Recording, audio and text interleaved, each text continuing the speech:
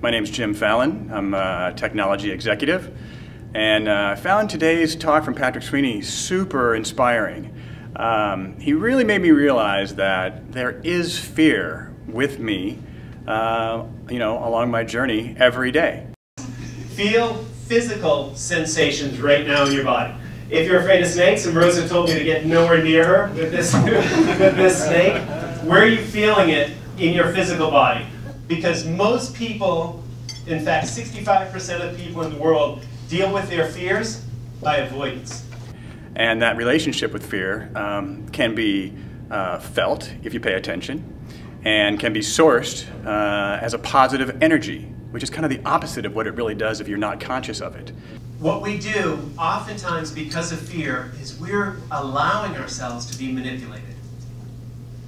Madison Avenue does it, politicians do it, even our relationships, our, our closest, most intimate relationships, we're oftentimes manipulated by fear. And it's a travesty.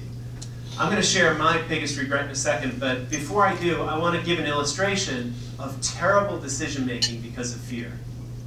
If everyone remembers after 9-11, there is nobody who's not heard the statistic that flying is significantly safer than driving.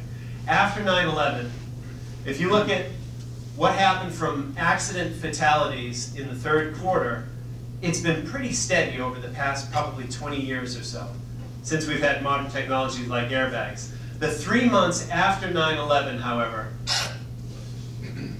there are 350 additional deaths because of fear-based decision making. And I'll explain this quickly. 10 to 12% of people who would normally fly stopped flying and drove. Hmm. Because of that, there are 350 additional deaths that those terrorists caused, and they caused it by terror. They manipulated people into making a terrible decision because of fear. So fear is one of the, it's probably the driving factor around our regrets. So I'm going to ask us to do one quick thing here. Turn around, find a partner or a couple people, maybe split the tables in half.